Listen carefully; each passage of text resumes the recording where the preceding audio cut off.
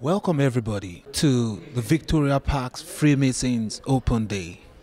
Today is a day of enlightenment whereby the preconceived notion and misconception about Freemasonry will be illuminated on by the intellectuals who are here to guide the public and make the public know what Freemasonry is all about.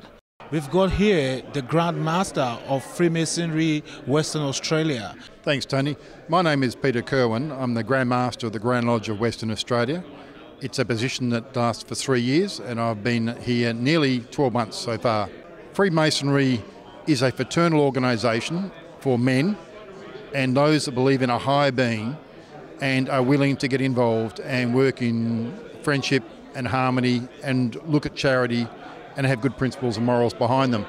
You basically have to be 18 years old, and we are always looking for people to come and join us. Freemasonry does a lot of work in the community. We raise a lot of money via Freemasonry. We run retirement villages, we have hostels. We're about to start a 200 bed dementia hostel in Middle Swan, and we do a lot of things in the community. We make donations to the Fiona Wood Foundation, Alzheimer's Association, we sponsor things like Tournaments of the Mind for young primary school children.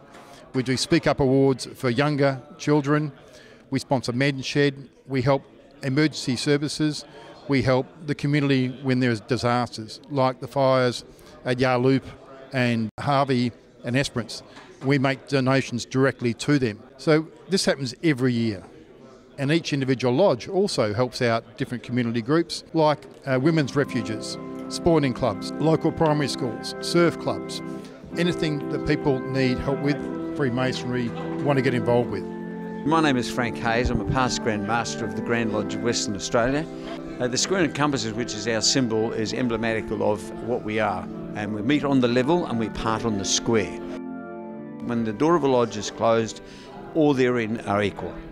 Some of our ceremonies and some of our beliefs are founded on uh, traditional things that have gone down through the ages, but uh, in today's society, we turn to a more modern situation. That's uh, we're involved in communities. You can be any religion you like because we're non-denominational. Our motto is to make good men better, and we have a, a credence that goes like this: Freemasons believe that family comes first, employment comes second, and Freemasonry takes a third base. King Solomon is, because of his work in building and dedicating and completing a temple to the work of God, what transformed from that is the different grades of workmanship and masters that came out of that. We're not actually active Freemasons, we're symbolic Masons. We work on symbolic synonyms from the past that represent what we believe in. And it's not a religion, but it's a philanthropic society of men who work within the community to make it a better situation for everybody, not just for Freemasons, but for all of our people. So I think that's about the, probably the best way of explaining it. My name is Paul. I'm a member of Old Goldfielders Lodge and JF Walford Day Lodge. I've been in Freemasonry since 1980. So in the last 39 years that I've been a member, I've been in Kalgoorlie and I've been in Perth, I've been in Wundowie. During our ceremonies, we learn all sorts of things that help us to become better people. And over a period of time, after having been the worshipful master, people at Grand Lodge decide that you can help them with their things, so you get to join the Grand Lodge team.